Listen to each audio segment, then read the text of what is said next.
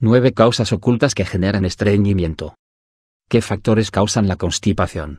Las respuestas más usuales incluyen una dieta escasa en fibras, ignorar repetidamente la urgencia de ir de cuerpo, el hecho de no tomar suficiente agua o la falta de ejercicio. Sin embargo, aquí le presentamos las causas de constipación que quizás no haya considerado, tales como ciertas medicaciones y determinadas enfermedades. En primer lugar, es importante aclarar que determinadas afecciones como la enfermedad inflamatoria intestinal, o IB por sus siglas en inglés, incluye dos condiciones crónicas, la enfermedad de Crohn y la colitis ulcerosa. Ambas pueden causar cólicos, pérdida de peso, heces con sangre junto con otros problemas de salud. En la colitis ulcerosa, la constipación puede ser un signo de obstrucción en el intestino delgado. De todas formas, si tiene solo constipación que no está acompañada de otros síntomas, lo más probable es que no se trate de la enfermedad del intestino inflamado, sino de una constipación propiamente dicha. 1. Hipotiroidismo. Una glándula tiroides inactiva provoca que los procesos metabólicos del cuerpo, incluidos los intestinales, sean más lentos. De todas formas, esto no significa que todas las personas con problemas en esta glándula tengan inevitablemente problemas de estreñimiento. Aún así, suelen estar muy ligados.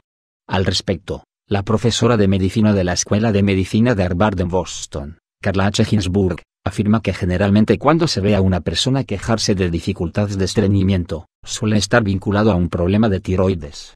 2. Diabetes y condiciones neurológicas. Por un lado, enfermedades como la diabetes pueden causar dificultades en la digestión, así que en ocasiones se realizan test de azúcar en la sangre a personas que regularmente están constipadas. Por otro, condiciones neurológicas como la esclerosis múltiple o el mal de Parkinson también provocan estreñimiento, que suele ir acompañado de otros síntomas como dificultades para orinar o caminar. 3. Analgésicos o medicamentos. Los remedios, especialmente los narcóticos, pueden provocar constipación. Muchas veces los receptores de los narcóticos se encuentran en el tracto digestivo, por eso, suelen generar una detención de todo este sistema, explica Thomas Park, gastroenterólogo del Centro Médico Rochester de Nueva York. En ocasiones, es una buena idea para aquellos que deben tomar remedios, también incorporar un laxante leve, para que actúe como paliativo. Ciertos estudios incluso indican que podría haber mayor riesgo de constipación para aquellos individuos que son usuarios crónicos de analgésicos como la aspirina y el ibuprofeno. La constipación puede ser también un efecto de drogas comunes usadas para tratar a presión alta, tales como bloqueadores de calcio y diuréticos. En el caso de estos últimos, disminuyen la presión sanguínea a la vez que aumentan la producción de orina, lo que produce que el agua sea expulsada del organismo. Pero el organismo, necesita el agua para mantener las heces blandas y sacarlas del cuerpo, y aquí se presenta el inconveniente. Los antihistamínicos recetados para los síntomas de la alergia pueden ser también otro problema.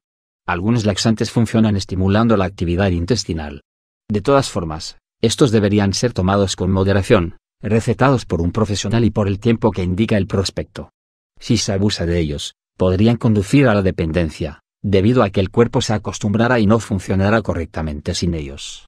4. Vitaminas. Si bien las vitaminas por sí solas no causan constipación, algunos componentes, como el calcio y el hierro, pueden a veces ser un problema. El Dr. Hinsburg, de la Asociación Gastroenterológica Norteamericana, sugiere, le recomendaría a un paciente que deje de tomar calcio excepto que realmente lo necesite, y que si no lo necesita, tome la precaución de ingerir anteriormente un protector para el estómago. 5. Antiácidos. Los antiácidos pueden ser grandiosos para combatir el ardor de estómago, pero cuidado, también pueden causar constipación, en especial los que contienen calcio aluminio. Afortunadamente, las farmacias tienen una gran variedad de medicamentos, con lo cual, si una medicación le genera problemas, siempre puede intentar con algo diferente, siguiendo los consejos de su médico de cabecera. Otra opción es, como se mencionó anteriormente, no sobrepasarse con las comidas. A su vez, Consumir alimentos con menos grasa y más fibra lo ayudará a prevenir otros problemas. 6. Una mala alimentación. Una dieta rica en queso y baja en alimentos con poca fibra o mucha grasa, tales como huevos y carne, puede hacer más lenta su digestión. La solución más rápida consiste en eliminar o reducir esas comidas más grasas y reemplazarlas por un incremento de fibra de entre 20 y 40 gramos por día. Una idea práctica consiste en que si por ejemplo, vamos a consumir queso con carne roja o huevos, los combinemos con una porción de ensaladas u otras comidas que contengan fibra, para lograr un equilibrio. Y sobre todo, evitar las comidas rápidas o procesadas, que suelen ser bajas en fibras. 7. Chocolate. ¿Aliado o enemigo? Por un lado, hay algunas evidencias de que el chocolate podría causar constipación, aunque otros estudios demuestran que el chocolate podría ayudar a algunas personas. Para los médicos, los que padecen intestino irritable o gastritis crónica deberían eliminar o reducir sustancias como el chocolate y el té negro. 8. Nuestros estados de ánimo. Paradójicamente, los antidepresivos destinados a tratar los problemas como la depresión, también pueden causar dificultades estomacales. Al igual que sucede con el hipotiroidismo, causa una baja en los procesos normales del organismo, lo que puede afectar al intestino.